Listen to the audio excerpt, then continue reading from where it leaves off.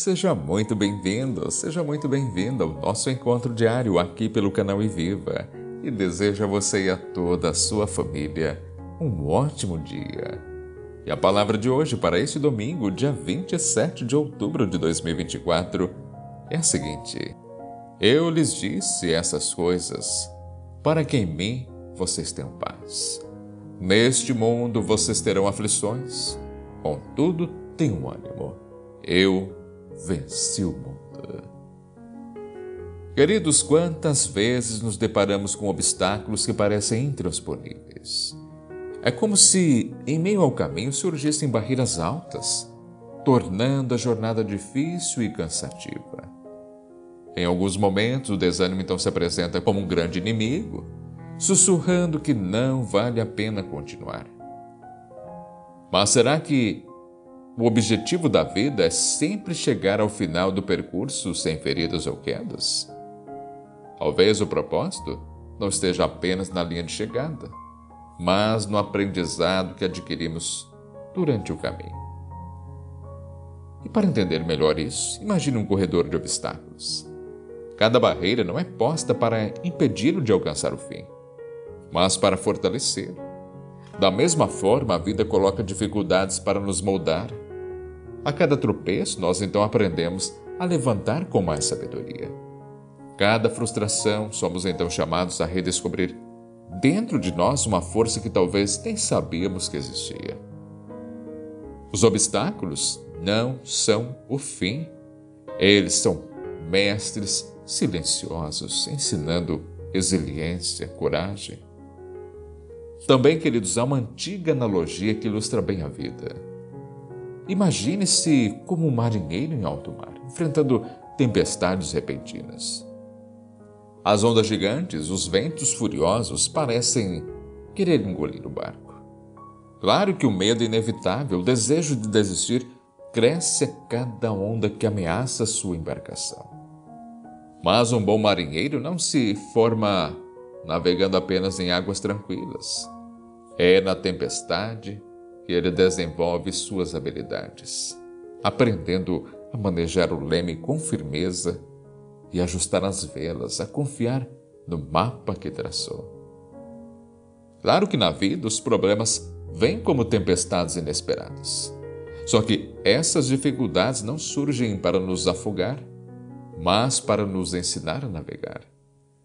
Deus nos deu o mapa, ou seja, Sua palavra, nos deixou promessas que funcionam como âncoras. Veja o versículo de hoje. Nos lembra que, embora as aflições sejam inevitáveis, a vitória de Cristo sobre o mundo nos garante esperança. E a vida é isso, um mar agitado. Mas nós precisamos confiar que o Senhor está conosco no barco ensinando-nos a atravessar as tempestades com fé, com coragem. Outra imagem poderosa também é a do alpinista escalando uma montanha íngreme. Cada passo é uma luta contra a gravidade, contra o próprio corpo que clama por descanso. Mas ele desistirá? Não. Porque sabe que o cume guarda uma vista que nenhum vale pode proporcionar.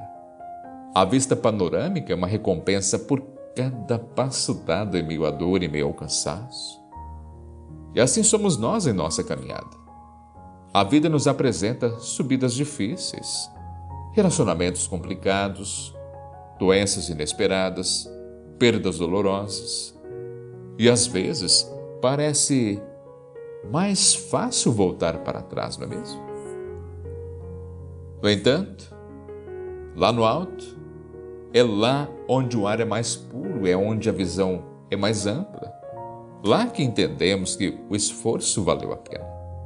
Cada obstáculo vencido é um passo mais próximo da nossa melhor versão. Outro exemplo clássico são as pedras no caminho. Às vezes nos queixamos que a estrada é acidentada, não é mesmo? Cheia de obstáculos que nos fazem tropeçar. Mas já pensou que essas pedras elas podem ser usadas para construir algo?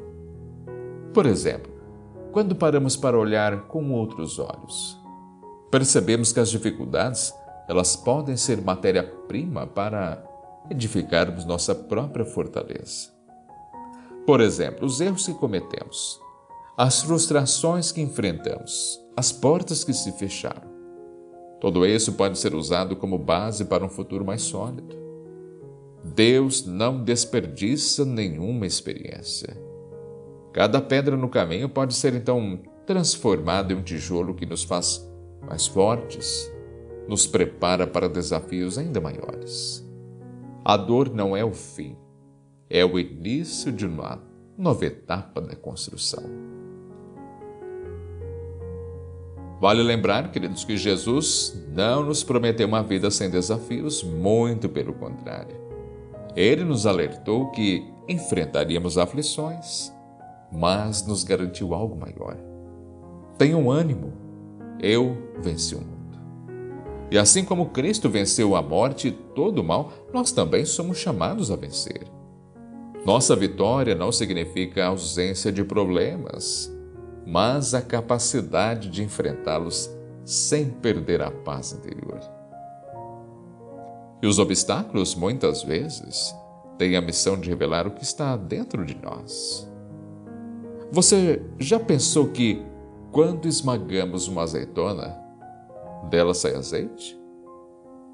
E quando uma uva é pressionada, ela libera o vinho?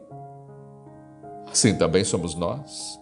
A pressão revela o que há de mais precioso em nosso interior. Deus permite que passemos por certas dificuldades porque sabe que há uma força divina escondida dentro de nós, esperando para ser descoberta. Ou lembre-se, os obstáculos, eles podem sim nos cansar, até nos fazer duvidar se vale a pena continuar. Mas é exatamente nesses momentos que a fé precisa, então, se tornar nosso chão. A fé não é a negação da realidade. Ela é a certeza de que, por mais desafiadora que seja a estrada, nós não estamos sozinhos. Se Deus permitiu que você enfrentasse essas dificuldades, tenha certeza porque Ele sabe que você é capaz de vencê-la como ele venceu e ele está ao seu lado. Então lembre-se: assim como uma árvore não cresce forte sem enfrentar ventos, como o ouro não é purificado sem o fogo, nossa alma também é moldada nos desafios. Cada obstáculo é uma oportunidade, então, para nos tornarmos mais fortes, mais sábios e mais preparados para o que Deus tem reservado para nós. Agora eu lhe pergunto com muito carinho e respeito: o que você tem feito com os obstáculos em sua vida? Está permitindo que eles o paralisem? Ou está usando cada um deles como um degrau para subir ainda mais alto? Veja o versículo de hoje, nos lembra que as aflições fazem parte do caminho, mas também que a vitória já foi conquistada por Cristo. Não há obstáculo tão grande que o amor e a graça de Deus não possam transformar em uma bênção. Portanto, da próxima vez que se deparar com uma barreira, lembre-se de que ela não está ali para detê-lo, mas para prepará-lo. Enfrente então cada dificuldade como um alpinista que sabe que a vista do cume recompensará todo o esforço. Também como um marinheiro que confia que a tempestade passa e que o sol voltará a brilhar e como alguém que, ao tropeçar em uma pedra, a recolhe para construir algo mais forte. E você possa, então, em cada desafio, encontrar a oportunidade de se Capaz de Cristo, que venceu o mundo, e então seu coração e sua mente em todas as coisas. E não desista. O cume é logo ali. A sua vitória não tardará. Amém? Espero que a palavra de hoje tenha sido muito importante para você, tenha tocado o seu coração. Se ela tocou e se foi importante, também compartilhe com alguém que precise desse encorajamento. Declare também logo abaixo nos comentários esta poderosíssima frase: A minha vitória não tardará. Ó oh, Senhor, hoje estamos aqui. Reconhecemos que a caminhada tem sido difícil. Os obstáculos se multiplicam pelo caminho. Muitas vezes, Senhor, estamos tão cansados, desanimados, sem forças para continuar. Mas sabemos que Tu estás conosco em cada passo, guiando-nos, mesmo quando as tempestades se levantam e tudo parece incerto.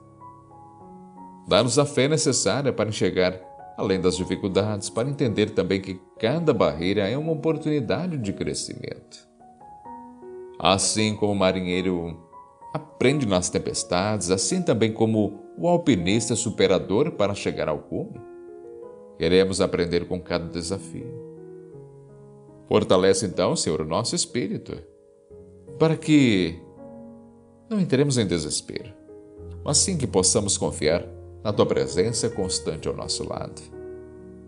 E possamos transformar as pedras do caminho em degraus para a nossa vitória, lembrando que tu já venceste o mundo. E também nós venceremos. Acalma o nosso coração nas aflições, renova também nossas forças quando o cansaço nos tomar. E não fujamos das dificuldades, mas as enfrentemos com coragem e sabedoria, sempre confiantes na tua graça. Conduza também, Senhor, os nossos passos, nos fortalecendo, mesmo quando a subida parecer íngreme. Tu és a nossa âncora na tempestade, a nossa força nas horas mais difíceis. Ensina-nos a perseverar e a ver também a beleza que existe em cada superação. Em Ti, Senhor, encontramos a paz, encontramos a certeza de que os obstáculos não vieram para nos destruir, mas sim para nos transformar. E confiamos em Ti, Senhor, e entregamos tudo, mas tudo mesmo em Tuas mãos. Amém. Muito obrigado, você que me acompanha até este momento. É sempre uma grande alegria, também um privilégio ter a sua presença aqui neste nosso encontro. Claro que será muito importante você também deixar o like no vídeo, gostei, se inscrever aqui no canal se você ainda não é inscrito e também compartilhar a mensagem desta palavra, fazendo chegar a mais e mais pessoas.